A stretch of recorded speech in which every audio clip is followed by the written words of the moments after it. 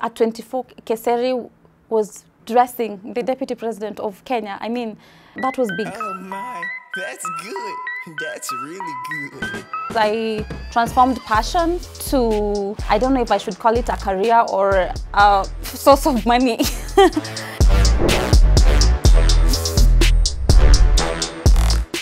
My name is Merin Kesari Muholo, a 26-year-old fashion designer and stylist.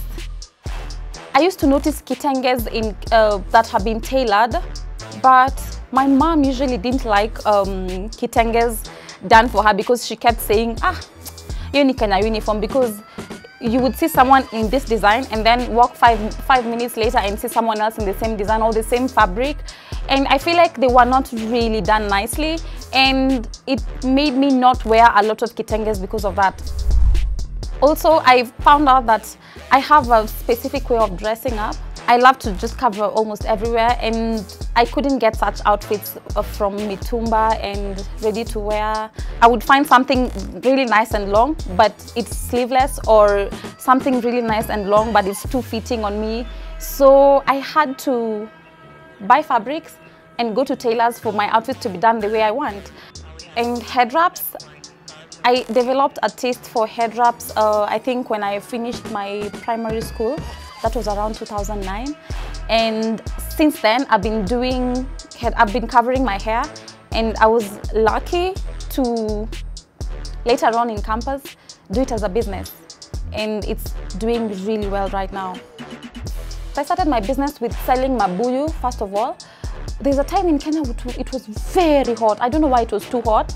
So I thought I had a couple deras and people were like, um, Keseri, you feel nice because it's too hot and you're just free and you know you, you don't have to to be in very tight clothes. Your deras are so nice. Can you sell me some? So the first person ever, I sold them, they, they didn't mind me to sell them. You know, they were like, if you can sell to me what you have, no problem. So we go into the hostel, get to my room. She picks out a few pieces of what she likes.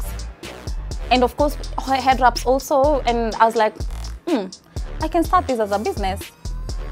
And um, that's how I did. I went to Coast, I saved up some money, of course, went to Coast. As I was in Coast, I thought, mm, apart from selling out uh, the head wraps and deras, what else can I sell that I can sell even in class when the lecturer is teaching, you know, and I can just put in my bag. And if, if it's a man who doesn't wear deras, they can buy mabuyu and all that, and the cherry and those nice snacks from the coast. And that's how I did it. I started my business with 8,000 shillings. 3,000 apo ilikuwa ya kuenda Mombasa, 1,500 na 1,500 ya kurudi. And then 5,000 was my pesa ya kununua dera, fabric, ah, sorry, dera na mabuyu na achari. When I was 24, just going to my 25, a client used to tell me all the time, Kesari, I will introduce you to my boss. You do a very good job. So I didn't know who the boss is. I will introduce you to my boss. And one time, I'm coming from Mombasa, I'm just landing Wilson, and then I see a call. Of course, when you're still up Ukoju, you can't, you can, you can see a call. If you're lucky, you can pick it. If you're not lucky, you can't pick it. So you can only pick it if you guys have landed and maybe getting out of a plane, whatever. So she tells me, I need you to meet uh, someone and take their measurements. We're planning this and this and this. I'm like, ah, no problem. So I straight go there. Go see her in Kilimani. So at around three, of course, they're talking with their other friends. Like, ah, boss is calling me. So she tells me, Kesari, do this. You go to the office, go and rest kidogo, and then I will call you when I leave uh, my I leave the, my boss's office in Karen. So I come back to the office. I'm here. She calls me and tells me, boss has approved that you will be making clothes for him. I'm like, before I even ask who, he says, you will, we will need to go there. You have an appointment on Thursday at 8. So I'm like, okay, boss. Oh, he says, ah, you know, I've never told you my, who my boss is. My boss is, my boss is a deputy president. So I'm like, okay. So I, I was seated, I stand, I come here. I'm like, so we're going to see him for? Okay, we're going to make clothes. Because earlier we had done some outfits for him. I didn't know it's him but we had done some outfits and he loved the fabric, he loved, he loved the, the workmanship, he loved the finishing and all that. So that's how I started. That was uh, sometime in January last year. And I am so proud because since we started doing the outfits for him, we have seen other people, people, don't, don't- they don't just wear kitenge, you know, not just kitenge shirt.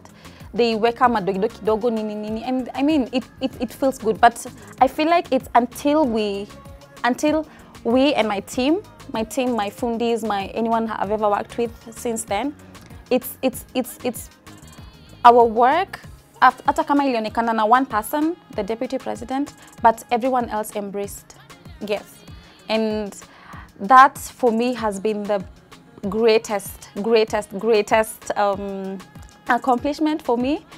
And i feel like i did that at a very young age because at 24 i don't know what other people in kenya and the world are doing at 24 but at 24 keseri was dressing the deputy president of kenya. I mean um, that was big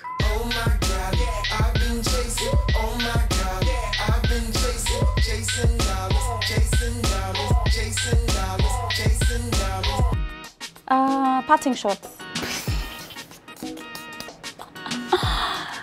you will cut that out. Eh, nikonayo.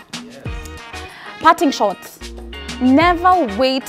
There's never a right time to start something. If you have the idea and you have one resource or two, anza na hiyo.